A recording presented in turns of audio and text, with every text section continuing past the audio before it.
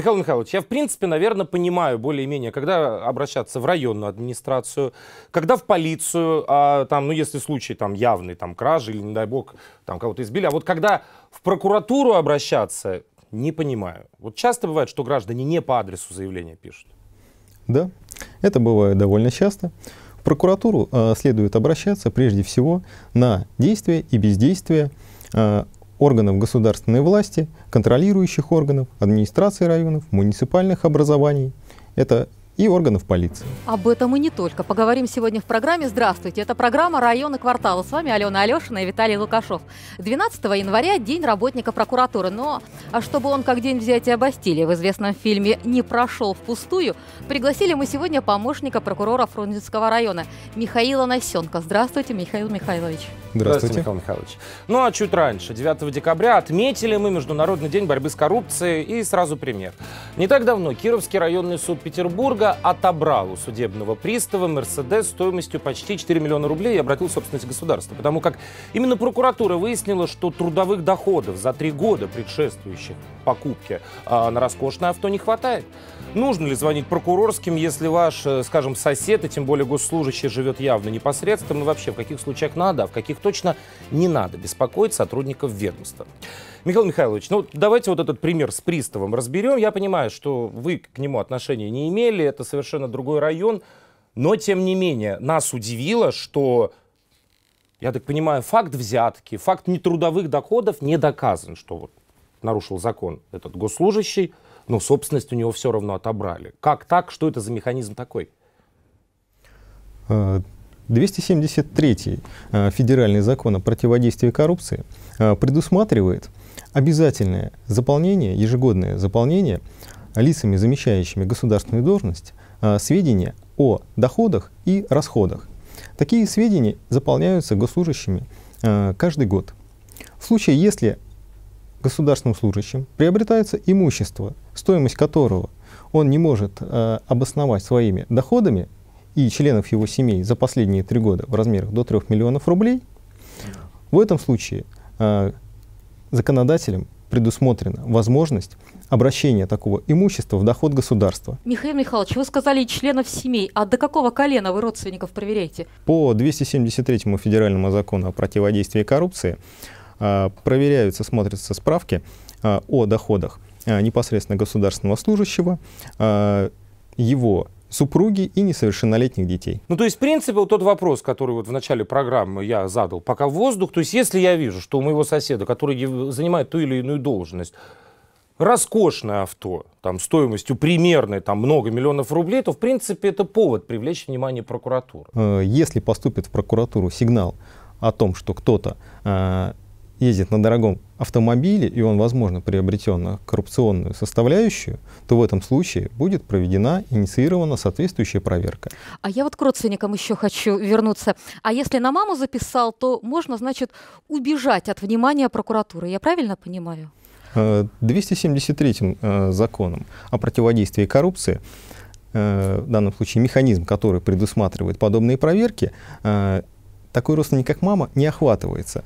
Но в этом случае, если а, поступает такой сигнал, а, это, естественно, будет сигнал для того, чтобы направить информацию в соответствующее ведомство. Если возможно, а, мамой этого должностного лица а, получены какие-то незаконные денежные средства и на них приобретен автомобиль, то это основание для направления информации в органы полиции и в налоговые органы, которые уже посмотрят, на какие денежные средства приобретено данное имущество. Ну вот я предлагаю по родственным связям, это очень интересный момент, мне кажется, по родственным связям. Мы сейчас еще в них углубимся, в генеалогические древа возможных коррупционеров. А пока прервемся, время новостей городских районов, вернемся в студию ровно через 4 минуты.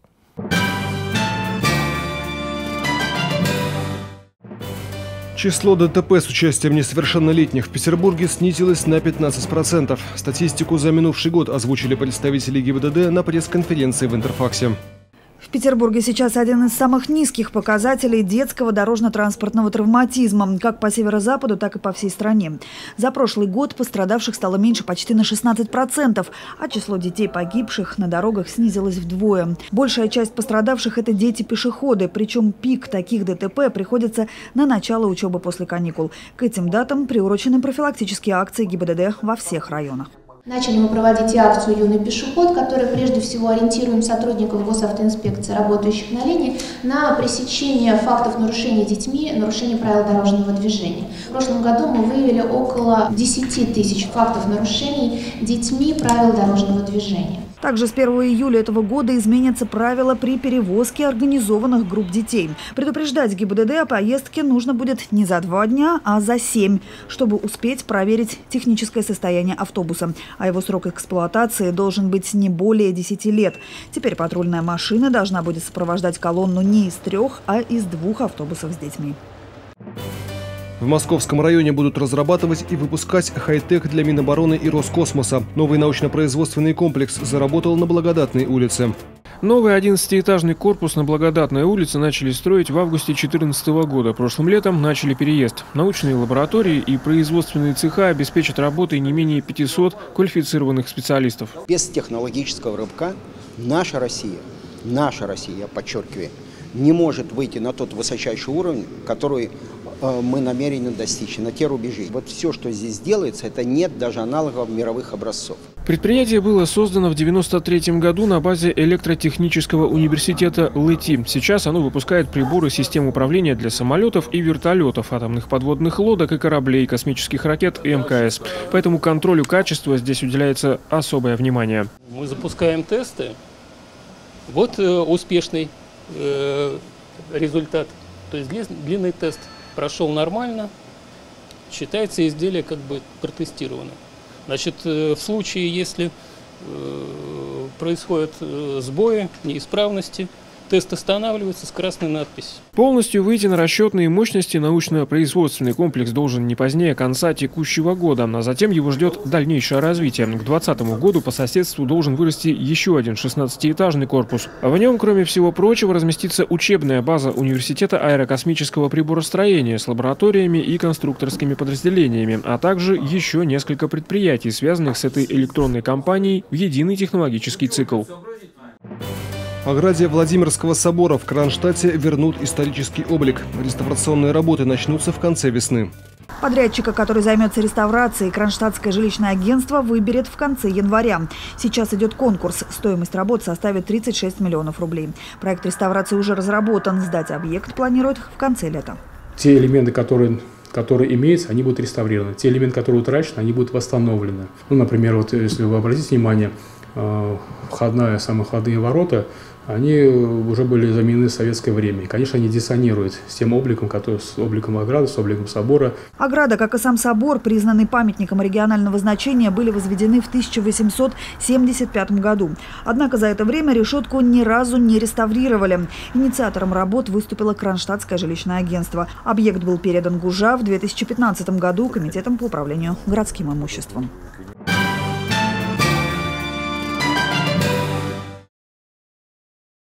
Впереди нас ждет еще один выпуск новостей городских районов. Ну а сейчас возвращаемся к разговору о коррупции. Наш гость, помощник прокурора Фрунзенского района Михаил Насенок. Михаил Михайлович, вот вы сказали, что, допустим, если там, возможно, госслужащий, у него очень дорогая машина, записана на маму-пенсионерку. Вы сказали, что можете поделиться такой информацией, направить ее, ну, допустим, в налоговую. И налоговая уже выяснит, откуда у мамы пенсионерки машина за 6 миллионов рублей. Понятно, это уже не ваша подведомственность это там пусть разбирается налоговая. А если человек пользуется имуществом дорогостоящим, допустим, ну, что называется, мы же не только ну, живем там по документам, да, мы еще что-то видим. Если мы видим, что там не знаю, в прошлом году чиновник ездил на Геленвагене, в этом году у него появилась вторая машина. Мы знали, что он построил там в роскошном пригороде дом, и все на родственников записано. Ну, ну вот, ну не верю я, что у прокуратуры он не вызовет повышенного внимания, такой госслужащий. Нет, естественно, э, те лица, которые привлекают повышенное внимание, к ним будет э, повышенный интерес. Вы так очень сдержанно рассказываете. Мне кажется, что знаете это вы гораздо больше, чем можете рассказать. Но именно как раз вот наверное, в интересах торжества закона, для того, чтобы те самые лица, которые вызывают повышенное внимание, знали об этом меньше и продолжали это внимание вызывать. Вы, наверное, не всей информацией с нами делитесь.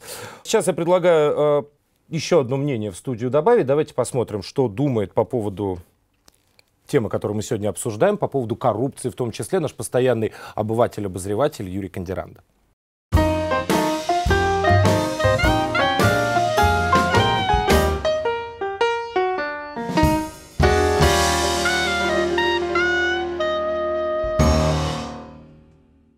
Зима, но часть зрителей со мной согласится. До 1 сентября осталось недолго. Правильно, пора искать хорошую школу. А хорошая школа редко рядом с домом, а потому пора ехать и договариваться. Так и поступил мой сосед, сын подрастает. Приехал, поговорил с директором. Мест нет. Ну и пошел во свояси, стоит за оградой, курит. Подходит мужчина, просит огоньку, разговорились, рассказал сосед о проблеме. А незнакомец в ответ про благотворительный фонд в этой школе, а потом рисует на снегу пятизначную цифру и молча уходит. Вот сосед и делится. Голову ломаю. Не знаю, что делать. Идти в полицию. Сообщить, что вымогает взятку. Ну, понятно, что спросят, каким образом и что им рассказать. Про то, как с директором школы поговорил, узнал, что мест нет, а потом неизвестный мужик на снегу написал сумму взятки и потребует меченые купюры? Представляю этот гомерический хохот в отделении полиции. Второй вариант. Оплатить счет, написанный на снегу, ну то есть по факту дать взятку. И уже после этого пойти в полицию. Так ведь привлекут, преступление уже совершено. Нет, потом вроде как от уголовной ответственности освободят. Ну, мало ли. Третий вариант. Найти другую школу гораздо дальше от дома. Четвертый вариант. И кажется мне самый распространенный. Ради ребенка. Приехать, дать и забыть, как кошмарный сон.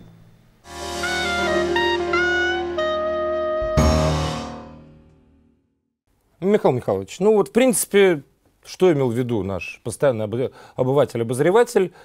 Понятно и очевидно нам, как обывателям, что мужик на снегу рисовал сумму, за которую его ребенка возьмут в школу.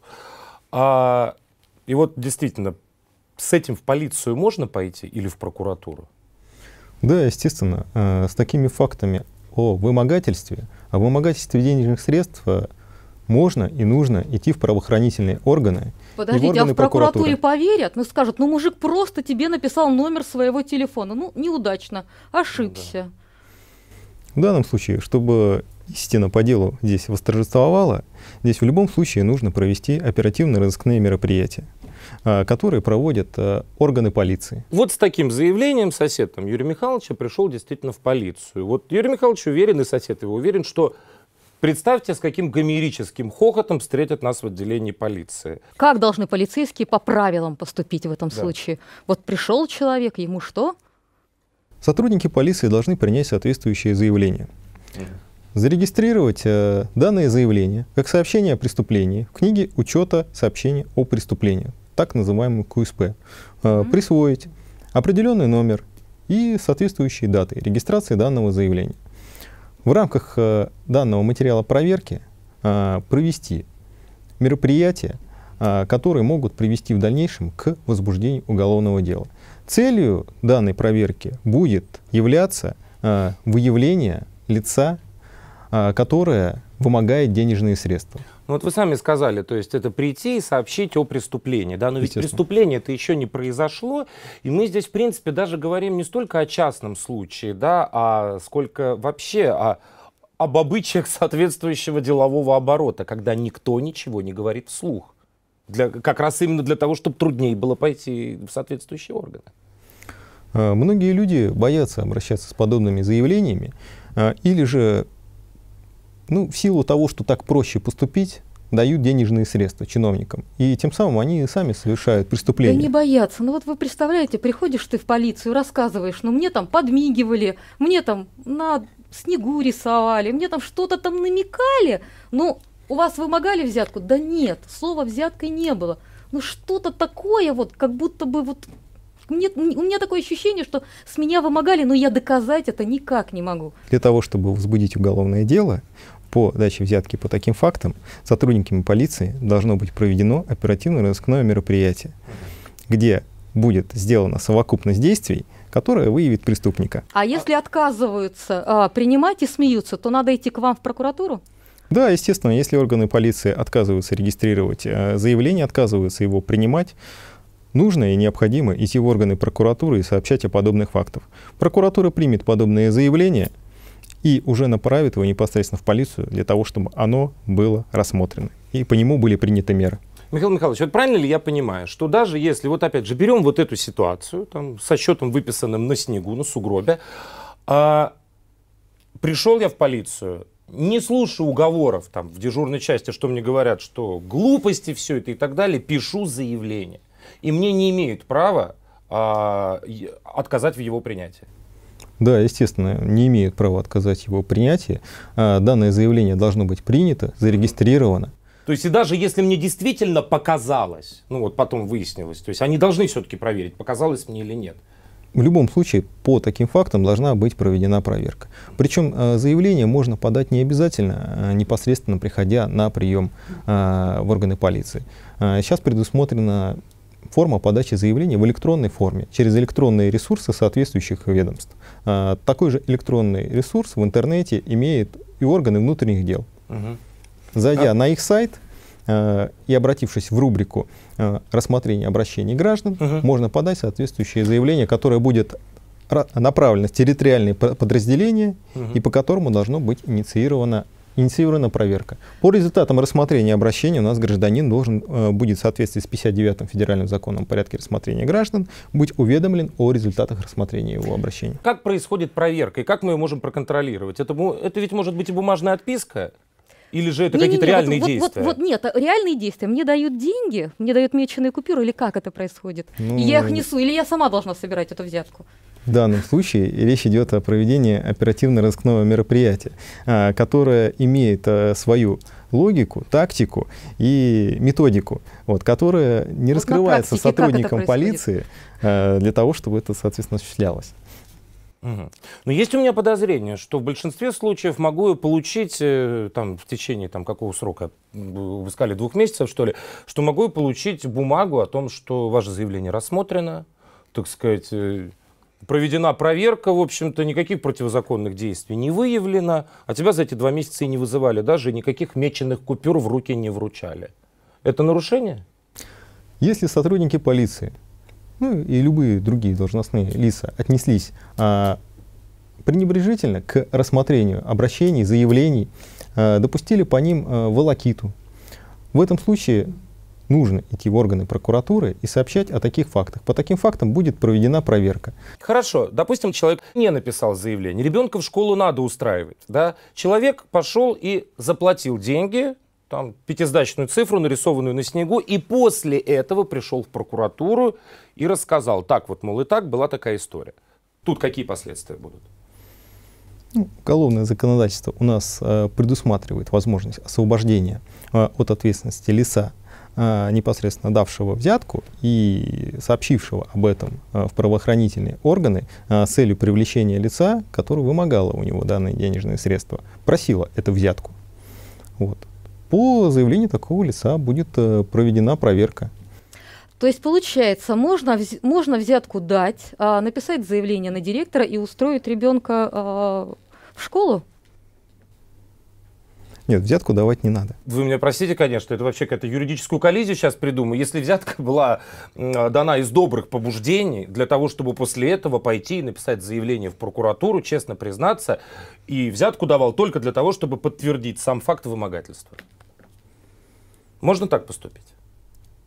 Нет, взятка – это преступление. Хорошо, так поступать нельзя, так поступили. Так Что будет тому, кто дал взятку? Вот прихожу я тут вот с заявлением и говорю, я дал взятку за то, чтобы устроить ребенка в школу, там, не знаю, 30 тысяч рублей. Не с потолка, кстати, взял цифру. Это 30 тысяч рублей. Признаюсь, пишу заявление, требую привлечь к ответственности. Есть такие нюансы. При э, проведении проверок по фактам взятки, дачи взятки, вымогательство. А, необходимо и нужно непосредственно довольно часто ловить а, человека с поличным. Вот. В данном случае человек, а, лицо, которое непосредственно дало взятку, оно может сообщить о подобном факте. Вот. Но будет ли установлен факт о том, что другое лицо ее приняло, здесь в данном случае становится большим вопросом. Вот. Чтобы непосредственно такой ситуации не происходило, необходимо все-таки эти правоохранительные органы, органы полиции, а, сообщать о подобных фактах для того, чтобы это было, была проведена соответствующая грамотная проверка с сопровождением и с проведением оперативно-розыскных мероприятий. Потому что в противном случае мы можем не прийти к конечному результату, к возбуждению уголовного дела по статье 290 Уголовного кодекса Российской Федерации э, и не наказанию виновного mm-hmm. лица. Чтобы ну, такой... ребенок устроен будет, прости мне, Уголовный кодекс. Ну ведь так-то можно, ну нет, ну в принципе логика понятна, потому что так ведь можно человека и оговорить. Естественно, можно и говорить.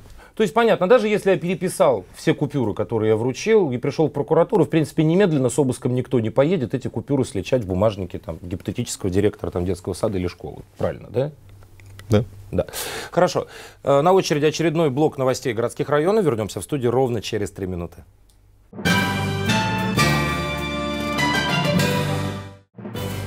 На Выборгской набережной может появиться общественный квартал. В районе готовят документы для реновации бывшей промышленной зоны. Речь идет об участке между набережной, Кантемировской улицей, Большим Самсоньевским проспектом и улицей Александра Матросова. Здесь по планам может появиться гостиница, несколько объектов образования, а также спортивный комплекс и подземный паркинг. Реанимировать заброшенный квартал стало возможным благодаря принятию новых правил.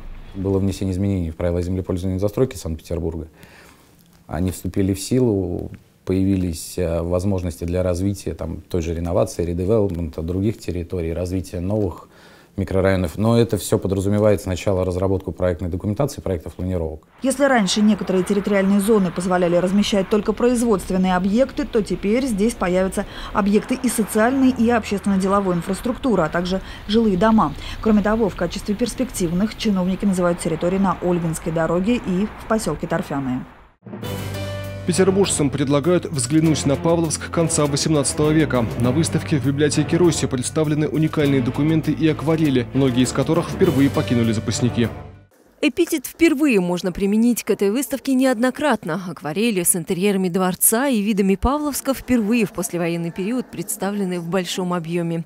По ним, например, можно проследить, как менялась колоннада Аполлона вид ее сильно отличается от того, что мы можем наблюдать сейчас. В 1817 году во время грозы часть колоннады рухнула, но владелица решила оставить все без эм, изменений, поскольку рухнувшая постройка очень была похожа на, напоминала античные руины. Также впервые организаторы решили рассказать и о бытовой истории дворца. Есть иллюстрации о том, как, например, развлекались, купались многочисленные дети и внуки императрицы Марии Федоровны. Вот детская площадка и розовый павильон, которые не сохранились до наших дней. Здесь играл будущий император Александр II. А вот схема ванной комнаты. На плане можно увидеть, что сам Сама ванная была помещена в шкаф, чтобы тепло сохранялось дольше. Как вы думаете, для чего могут одновременно пригодиться теплый утюг и дымовпускательная машина? Оказывается, эти предметы необходимы для того, чтобы привести в чувство спасенного из воды человека. Об этом говорит инструкция конца XVIII века.